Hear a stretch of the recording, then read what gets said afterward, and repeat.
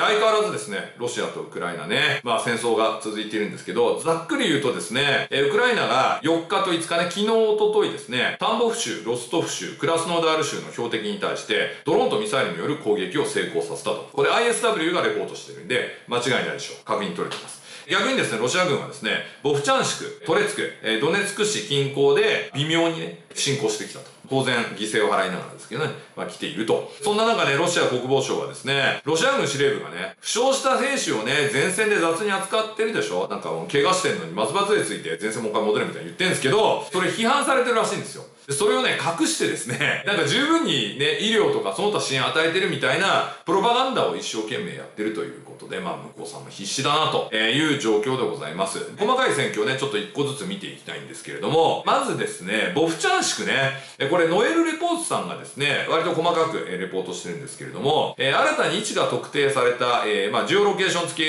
映像によるとですね、ボフチャンシクの東部とですね、ティヘ西部の両方で、ウクライナ軍が前進している様子が映っていると。だからロシアがまあ来てるんですけど、逆にあのカウンター食らってるということです。例のね、骨材工場ね、あの砂利とか作る工場ね。これね、依然としてグレーゾーンになってるらしいんですけれども、ウクライナ軍は過去24時間から48時間の間に突入を試みていると。結果はまだよくわからないということで、激戦が続いていると。このね、ボフチャンシクね。それからですね、ドローンがですね、結構ね、攻撃したという話なんですけれども、これもノエル・リポートさんの方にもですね、えー、情報がありまして、ロシアのウクライナで侵攻における日々の出来事を外貨するっていうね、X 投稿からね、ドローンがクラスノダールとロストフ州を襲いですね、えー、ウクライナ軍がボフチャンシクでより多くの地域を解放し、占領下のヘルソンで、えー、火災が発生したというふうにまあ一応ね、まるっとまとめてます。このドローン攻撃なんですけれども、クラスノダールとロストフ地方であったらしく、クラスノダールのですね、プリモルコス・アフタルスクですね、無人機がですね、え変電所に命中しまして、一機の破片が、えー、3階建てのビルに損傷を与えた。ロストフではですね、この無人機による攻撃で火災が発生と。これはですね、実はテンダーさんもですね、ドイツのね、あの、オシントアカウントですけど、レポートしてまして、ロストフ地方でですね、やっぱり無人機による攻撃があったと。昨日の夜あったと。どうもですね、攻撃があった場所は、オイルターミナルと。まあだから製油所ですね。もしくは貯蔵施設ですかね。なんかそこが狙われたというふうに言ってます。さらにクラスノダル町のそのオイルターミナルですね。勢いよく火吹いて燃えていると。えコンシダブルダメージって書いてありますので、えかなり深刻なダメージを受けたのではないかと、テンダーさんはおっしゃっております。こういう攻撃がですね、まあ続いていると。さらにですね、もう一個別の情報なんですけれども、これはノエルレポートさんの情報なんですけれども、えウクライナ軍のパルチザンがですね、ロシア国内でね、北朝鮮からの弾薬輸送を妨害するためにですね、え鉄道を攻撃したと、そういうニュースが入ってます。アテッシュというね、パルチザン運動ですよね。これのエージェントがですね、エカテリンブルグ近郊のトランスシベリア鉄道で作戦を行って成功させたと。鉄道のですね、一部路線が破壊されたというふうにレポートされてます。えこれはまあくまでノエルレポートさんのレポートなんですけど、一応まあ、え画像付きですので、事実かなみたいなね、まあそんな感じですね。さらにですね、もう一つですね、これあの、ウクライナ国内ですけれども、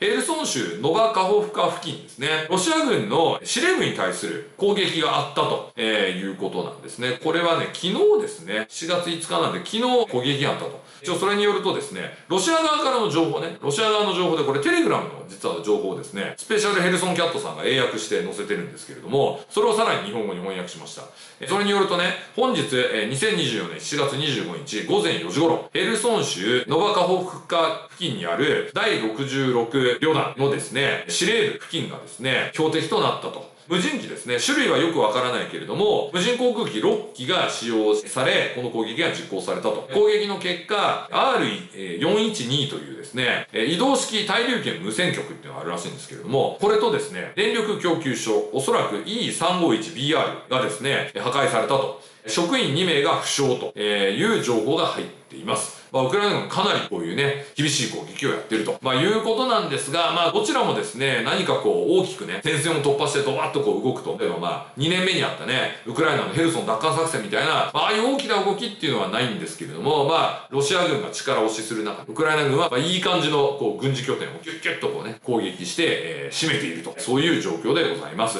そんな中ですね、アメリカがね、かなり大きなまた軍事パッケージ、これね、えー、援助を決めたということで、まあ、いろんなところ出てるんですけどね、ドイツのテンダーさんがこんな風に言ってたのちょっとご紹介します。アメリカ政府はウクライナ向けに新たな軍事支援パッケージを発表したと。1億5000万ドルはですね、大統領予算引き出し権 PDA からですね、支給されたと。えー、22億ドルはウクライナ安全保障イニシアチブ、えー、SUAI の資金から提供されると。この資金はパトリオット及び防空システム、えー、用のですね、迎撃ミサイルの購入に使用されるというふうに説明されてるんですが、一応これね、国防総省のアメリカのね、プレスリリースに詳しく出てるので、もうこれこのままちょっとね、翻訳して呼び上げちゃった方が早いかなと。ね、もう一時情報ですからね。一昨日というかもう3日前にすでに出てるんですけど、このリリースは、バイデン政権ウクライナへの追加安全保障支援を発表と。国防総省はウクライナの重要な安全保障防衛ニーズに対応するため、追加安全保障支援を発表したと。これには1億5000万ドルの大統領権限 PDA ですね、パッケージの承認が含まれ、ウクライナに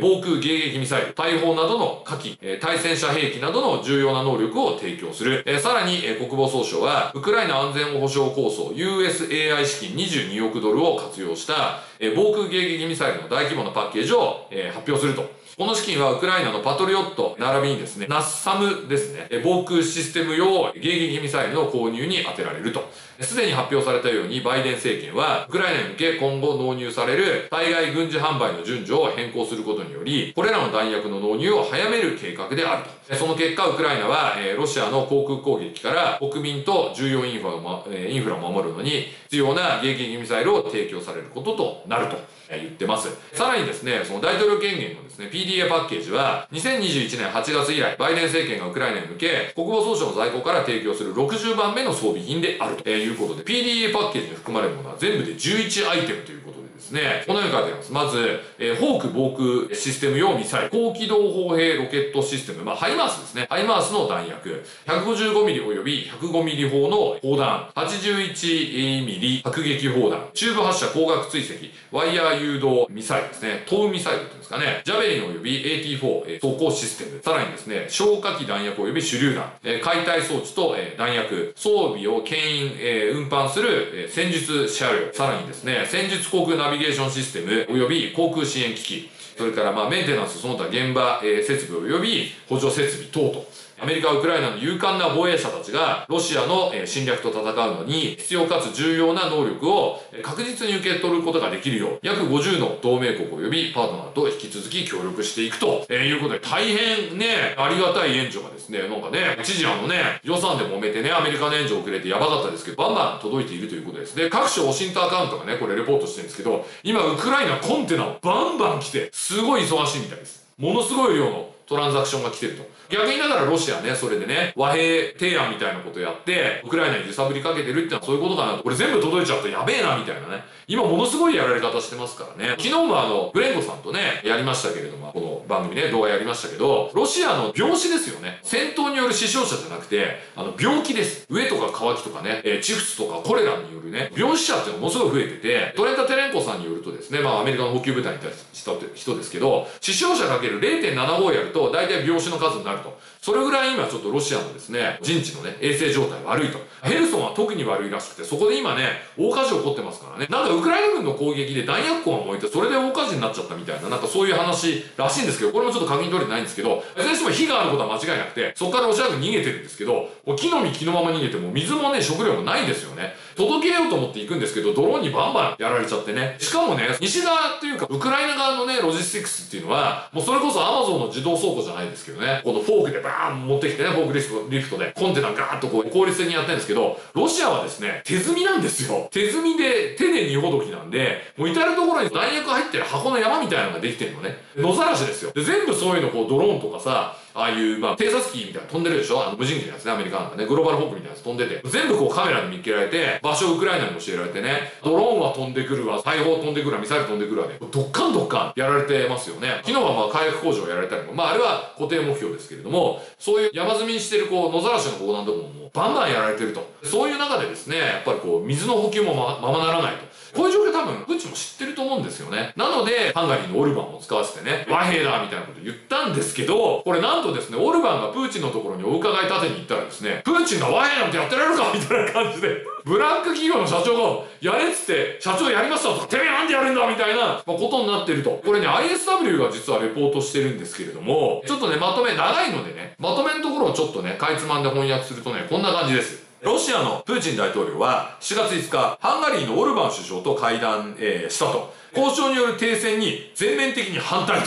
え？お前オルバン使って交渉して時間稼ぎしようとしたんじゃないのみたいな感じなんですけど、いきなり手のひら返したらしいんですよ。交渉による停戦に全面的に反対し、ウクライナの国家解体という目標を達成するため、戦争の最終的な終結を追求する姿勢を表明したということで、えー、何考えてんのこいつって感じですね。さらにプーチンはですね、終戦交渉に先立ち、ウクライナの領土と国民の大部分をロシアの占領下に明け渡すことと、ウクライナ軍の降伏の両方を要求していると、えー、いうことで、全然妥協してないと。まあ、ロシア流交渉術ですよね。高めの球を思いっきり投げて、妥協せずにむしろ脅せみたいな。それをまあ実践してると。さらにですね、作戦上重要な領土を解放するウクライナの反攻作戦は、プーチンのウクライナに対する侵略戦争の終結に対するですね、自信とコミットメントを低下させる最も健全な行動方針であることに変わりはないというふうにあの ISW 言ってるんですね。だからまあウクライナがどんどんね、ロシアに占領されてる領土を解放していけば、まあプーチンのメンツはどんどんどんどん傷ついていきますよと。メンツが地に落ちますよとね。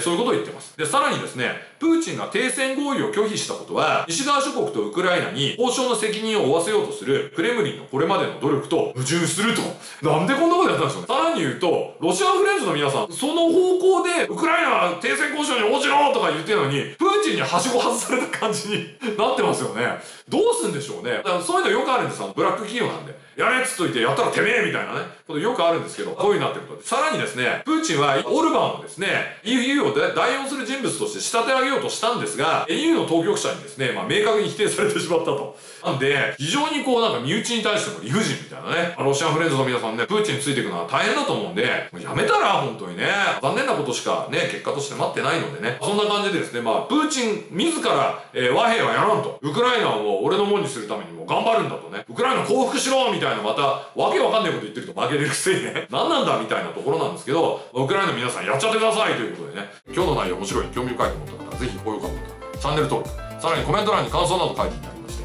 内容気に入ったら共有ボタンで拡散の方よろしくお願いします。最後までご覧いただきまして、ありがとうございました。ガオー